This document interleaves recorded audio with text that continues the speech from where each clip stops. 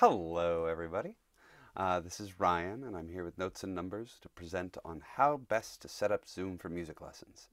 Um, there's a couple things we'll want to keep in mind. Uh, on the one hand, Zoom is really built for speech, not music. So a lot of what we're going to be disabling or doing is kind of working against what they tried to do in the first place, but that's okay.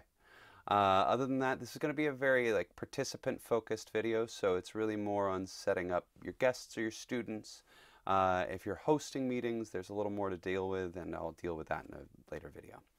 Uh, if you do like this video, make sure to subscribe. I'll be putting up other things like it as we go, along with performances and what have you. Uh, and if you are interested in lessons or anything like that, by all means, come find me at www.notesandnumbers.net. Thanks so much. All right, so what we've got here is my Windows 10 PC. Uh, it's going to be basically the same as anything running Mac OS because the real defining feature is they're both full operating systems as opposed to mobile operating systems. Uh, so although I'm not going to do a Mac video, the biggest change is where I say settings, sometimes it will say system preferences instead for a Mac. But otherwise, the general thrust of it all should be more or less the same. So, um, first things first, we want to make sure we have the Zoom app downloaded, and having that done, we click on it, it brings up our little home screen where you can see how to start a meeting or how to join a meeting or where to find what meetings you're already meant to be at. Uh, if you want to, you can click on this little profile icon in the upper right corner, and that'll open this up. Not terribly useful for us, though. If you click on the My Profile part, it'll take you and you can see what'll show up when you join a meeting or what your personal meeting ID is and things like that. Uh, additionally, if you click on the settings button here, it'll actually do the same thing as if you were to click on that little gear there. Uh, but in each case, it'll take us here. Uh, you can see I've skipped past general. Uh, and with video, the only things that we have to do or that I think ought to be done, disable HD and turn off touch my appearance, touch up my appearance.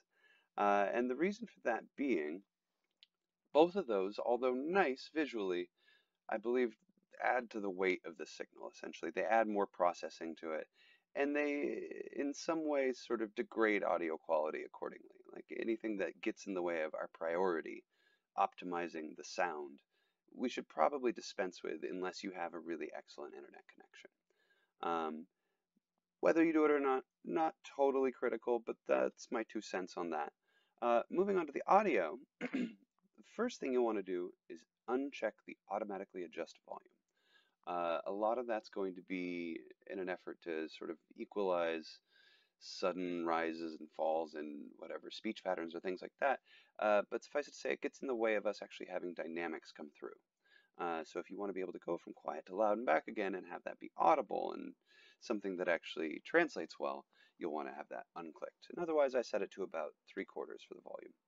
Um, past that, I don't enable stereo sound for more or less the same kind of signal load reasoning with the video stuff where it's just, it adds much more processing to it. Um, so unfortunately, or for better or worse, mono it is. Uh, now, if you click on advanced, you'll find that it brings us over to this. Critically, check this box, show in meeting option to enable original sound from microphone. Very important. That gives us essentially in meeting access to a raw audio feed or as close as we're going to get. Uh, past that, you'll want to disable suppress persistent background noise and suppress intermittent background noise. Both of those things that are meant to get rid of fridges or fans or planes, but will also get rid of sustained notes or uh, overtone build or any number of other really nice things that we want our music to have. Uh, leave echo cancellation on auto, or if it's not already there, set it to that. Uh, once we're in a meeting, you can see in the upper left-hand corner now, we'll have this option to turn on original sound. Click that, it'll turn into that turn off original sound and all lit up and pretty. Um, within that, as opposed to the mobile version of all this where you have to do it for each meeting with a, a PC or a Mac OS, um, you can actually set that just the one time and it should every time you select that mic turn on original sound for you. Um, but at the very least, you can always look to see if it's lit up blue like that. So that's pretty much it inside of Zoom. There is, again, in the context of this fuller, more comprehensive operating system, a little extra that we need to take care of because that operating system has sort of similar technology, often anyway, uh, to what Zoom's doing in that it tries to package or envelope your sound. So if you, for Windows, search sound settings, uh, for Mac, I think just open up system preferences and click on the sound icon. Uh, but either way, once you've done that, it'll bring up something kin to this. For us, we're looking at our microphone, so we want to go to device properties right near that, the input, uh, and it'll bring up this pretty sparse and plain menu here. Uh, I think you'll get there faster on a Mac, but for those on a PC like I am, we'll want to go to additional device properties. That'll bring up this little window. Enhancements is the tab that's of utmost important for us.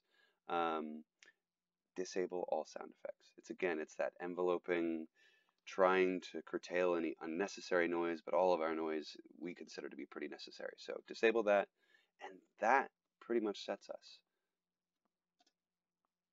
All right.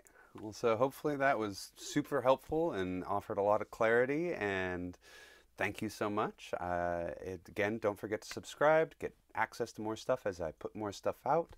Uh, and if you want to find me elsewhere, you can find me at Notes Numbers at Facebook, you know, at Notes and Nums at Instagram. Uh, and then, of course, the website is again www.notesandnumbers.net. Uh, take care and keep making music.